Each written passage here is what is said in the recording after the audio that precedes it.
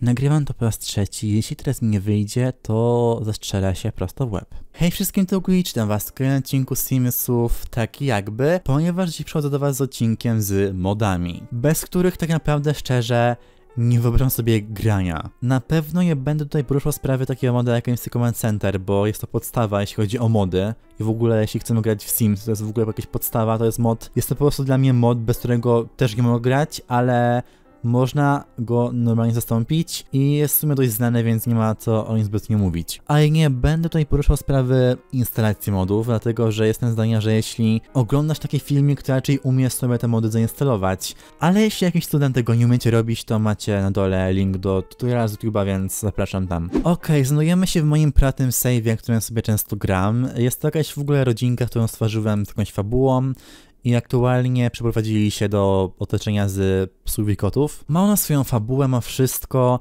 ale w sumie chyba nie będę wam tego tutaj mówił, bo to was nie obchodzi, tylko obchodzą was mody, tak zgaduję. Nie bez powodu jestem tej rodzince, dlatego że potrzebuję zwierzaka. Więc pierwszy mod, który jest naprawdę świetny i ja nie rozumiem, czemu nie ma tego w grze podstawowej, znaczy czemu nie ma tego w dodatku, jest sterowanie zwierzakami. Normalnie w czwórce oraz dwójce, nie wiem dokładnie jak wygląda sprawa w jedynce, ale chyba tak samo, tak podejrzewam i pamiętam aż tak, zwierzakami nie można sterować. W dwójce można było wpisać kod, w czwórce zaś do tego jest specjalny mod. Normalnie bez tego moda w ogóle nie mógłbym kliknąć na te zwierzaki, a teraz dzięki temu modowi mogę wszystko z nim zrobić i może znajdziemy, ok, tu mamy naszego kota, jest to Filemona i w sumie chciałbym, żeby Filemona sobie coś zjadła, niech sobie może zje makaron serem. I teraz powinna, no właśnie, je, ale może jednak tego nie jest, bo chciałbym, żeby mieli co...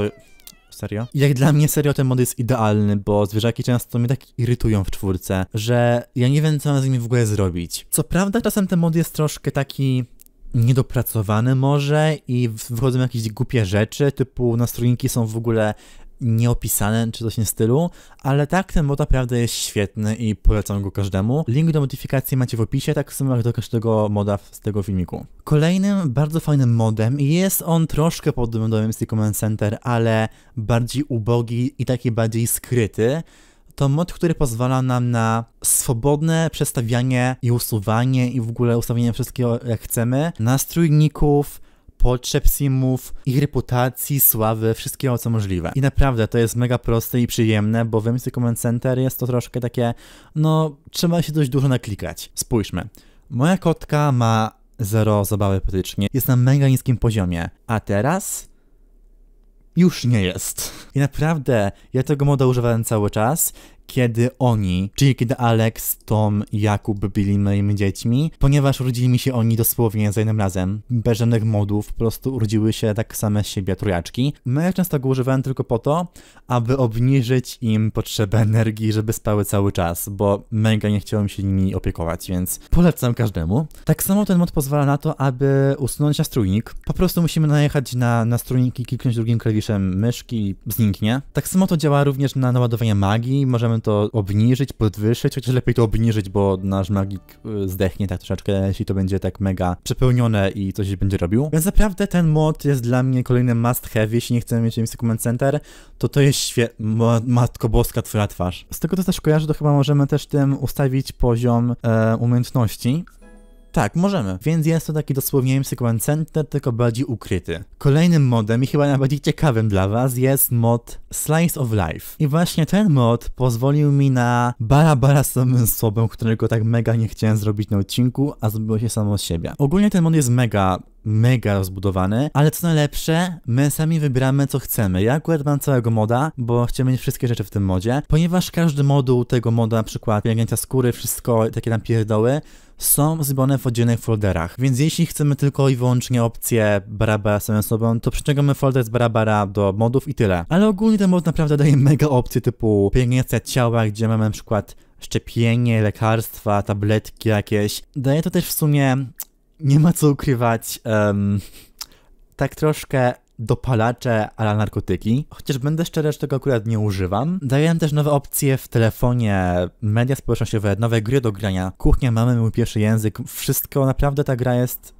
co? Ten mod jest mega zbudowany i polecam go każdemu. No i właśnie ten mod daje też ten trądzik i te rumieńce na twarzy i te wory pod oczami, kiedy jesteśmy zmęczeni, więc to jest mega fajne. A, no i warto wspomnieć, że każdy mod w tym odcinku jest po polsku, tak samo ten mod jest po polsku. No i wiem, że was to mega interesuje, więc idź, zrób to, pokaż to widzę, jak to się robi. No i w sumie wygląda to mniej więcej tak, że wchodzi pod kołdrę i tyle. Chyba nie muszę mówić, co ona robi, bo każdy chyba się teraz domyśla. Jest to coś taki wkurzony. O co ci w ogóle chodzi, kochany? Narażony. Jest szansa, że ten jest... Jezu, czy to jest koronawirus? Weź z nikim i z tym, bo... A no i właśnie ten ma jeszcze jedną fajną opcję taką jak pytanie właśnie o pieniądze. I jest to w sumie mega fajne, jeżeli gramy dzieckiem. Tu mamy jeszcze jednego moda, który nie jest polszczony, ale mniejsza. E, I gdzieś tutaj powinno być um, o pieniądze, tylko teraz pewnie tego nie znajdę jak zwykle. To też jest mod, ale nie jest on kompletnie po polsku, dlatego że trwają prace nad tłumaczeniem, ale wkrótce będzie po polsku, więc też wam go dam, ale jest też mega fajny i w sumie to mogę dać wam do niego linka po angielsku i jeżeli poczekacie na aktualizację z polską wersją. No i w sumie właśnie skoro przeszedłem do tego moda,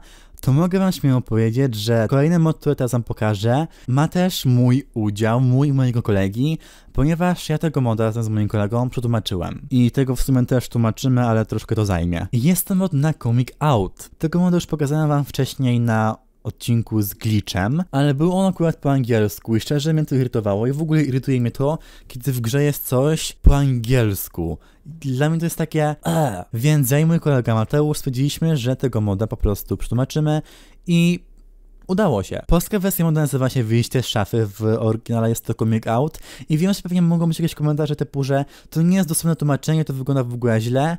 Uwierzcie, to wygląda lepiej niż przetłumaczenie tego na ujawnienie się albo, albo coś innego głupiego. A że formy wyjścia z szafy się często używa, to w sumie czemu by nie. I teraz Alex, czyli taki rodzinny gej, pójdzie do swojego brata i powie mu o swojej orientacji, tylko może by w końcu się ruszył, bo trochę to zajmie.